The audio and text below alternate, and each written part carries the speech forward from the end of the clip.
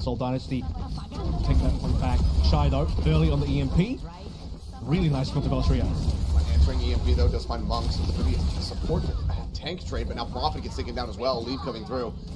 Man, just, melt him down. Point still being contested here from the side of the Dynasty. Rally rolling within him. Oh, Vindig Shield bash and Langson just helps destroy him alongside Shy. So no value going to be found off the back of that. Alt rejoining, recycled back into the spawn room.